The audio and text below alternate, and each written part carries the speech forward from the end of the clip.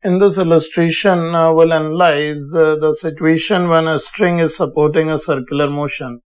Here the figure shows a block of mass m moving at a speed v in a circular path of radius r on a smooth horizontal surface and the string attached to block passes through a hole at center and uh, held with a force F on it and if the string can bear a maximum tension F naught in it, we are required to find the speed of block when a string breaks if a string is gradually pulled down.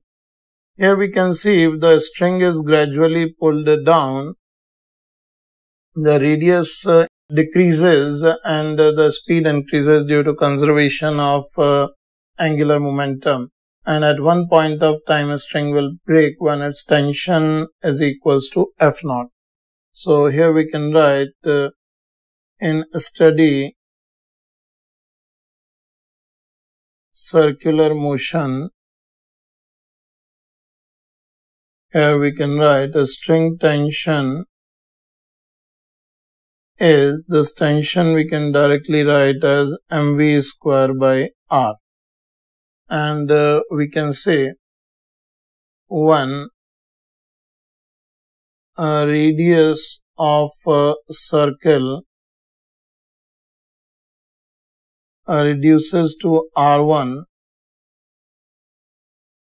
speed will change to v1 such that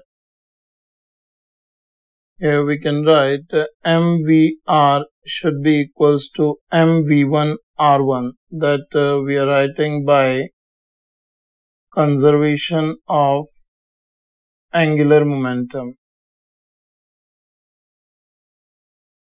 So in this situation, if this is our first equation here we can write string breaks when tension becomes uh, F naught and uh, it happens when mv1 square by r1 is equals to f naught. Now from equation 1 we can substitute the value of uh, v1 or we can substitute the value of uh, r1 over here. Then we can see this gives us f naught is equals to mv1 square divided by r1 we can write as vr by v1 which gives us uh, m v1 cube divided by vr. This implies the value of v1, the speed at which a string will break, is given by f naught vr divided by m and its cube root. That should be the result of this problem.